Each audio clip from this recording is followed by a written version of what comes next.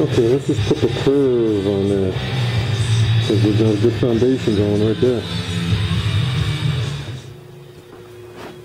Much better. Much better. I gotta hit that with something like 320 now, not 220. So, that's a good initial um, door glass swipe. The uh, seam seal is still wet, as you could see when I blew in there, you could see it rippled. It's no big deal. I got a little excited, I put that in too soon.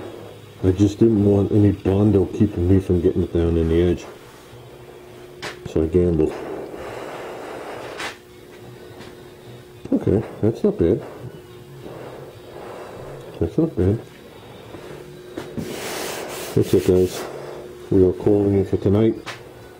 I just wanted to come out here and shape it. Uh, I want to just hit the edge one last time with something much finer, which I don't have. And uh, I'll also do that and get some uh, epoxy on here. Um, that's good. Okay, that's come a long way.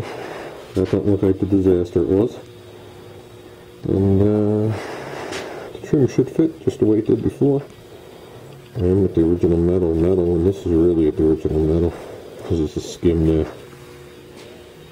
Um, okay. Well, that's it, guys. I know this is a real short video. Taking the mask off. So, yeah, it is going to be a real short one.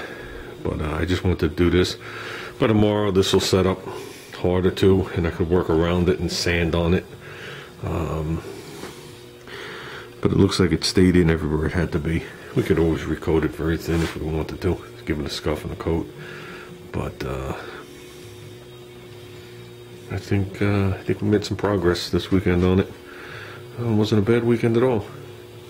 Good work on the car, some family time, friend time, and uh, now we need some relaxed time. So uh, I guess that's about it, guys. I'll talk to you later.